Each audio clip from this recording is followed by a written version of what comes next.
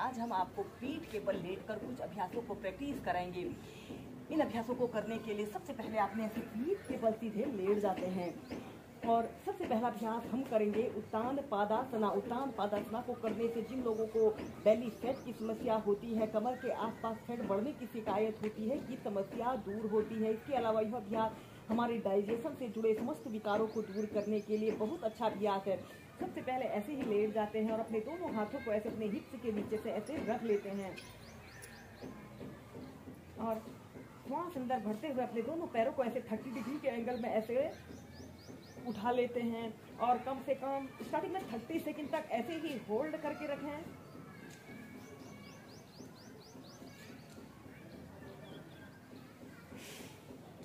फिर श्वास छोड़ते हुए नीचे। श्वास अंदर भरते हुए ऐसे अपने पैरों को ऐसे थर्टी डिग्री के एंगल पर उठाएँ।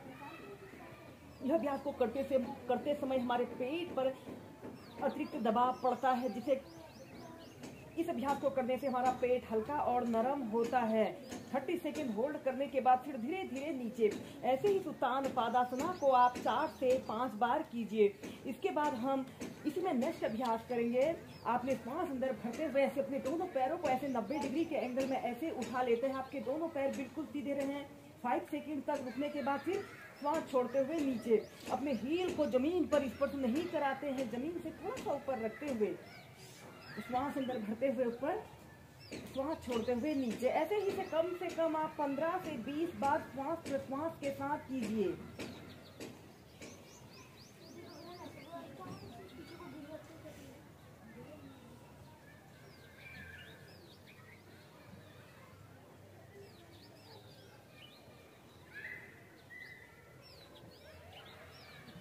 पहले ऐसे ही मध्यम गति के साथ करेंगे, फिर आप इसे तीव्रता से और श्वास प्रश्वास के साथ करते जाइए।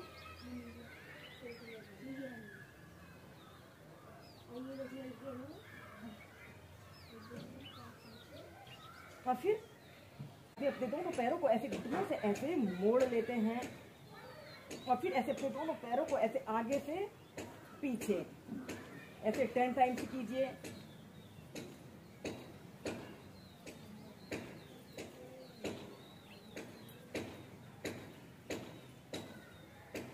अभ्यास हमारे पेट के लिए, हमारी पीठ के लिए, हमारे कमर, हमारे पैरों के लिए बहुत अच्छा अभ्यास है।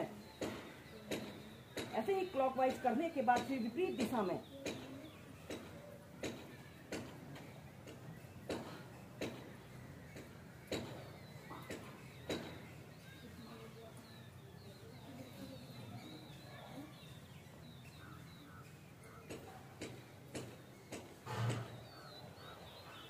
और फिर सीधे दोस्तों, इसके बाद हम करेंगे शशांक भुजंग आसन को एक साथ प्रैक्टिस करेंगे।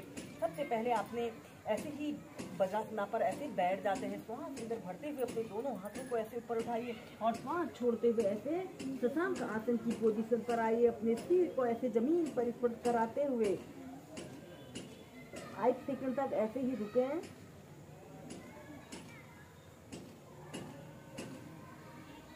श्वास अंदर भरते हुए ऐसे भुजंग आसन की पोजीशन पर आते हैं।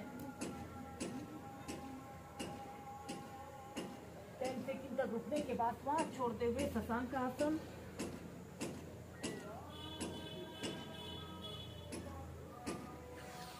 श्वास अंदर बढ़ते हुए पीछे। श्वास छोड़ते हुए शशांक। ऐसे ही इसे कम से कम पाँच से छह बार श्वास प्रश्वास के साथ करें।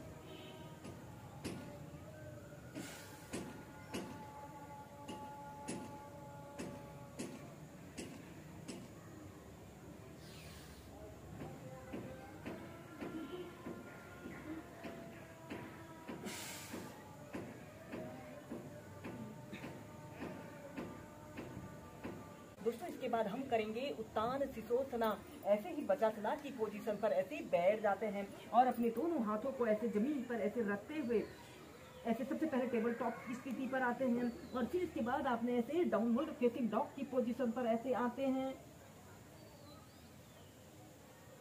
और फिर कम से कम टेन सेकेंड तक ऐसे ही होल्ड करके रखें। और फिर इसके बाद आपने ऐसे अपने दोनों हाथ कोहनियों को ज़मीन पर ऐसे रखते हुए, ऐसे अपने सिर को ऐसे ज़मीन पर ऐसे रख लें। और फिर ऐसे अपने घुटनों को ज़मीन पर ऐसे रखते हुए, अपने शरीर के बीच वाले हिस्से को ऐसे ऊपर की तरफ़ उठाते हुए, अपने ऊपरी शरीर को ऐसे आगे की तरफ़ स्ट्रेच करते हुए, ऐसे ही कम से कम थर्टी सेकेंड से लेकर टू मिनट तक इस उत्तान शीतोषणा की पोजीशन पर रहते हैं। यह अभ्यास हमारे ऊपरी शरीर और निचले शरीर को स्ट्रेच करता है।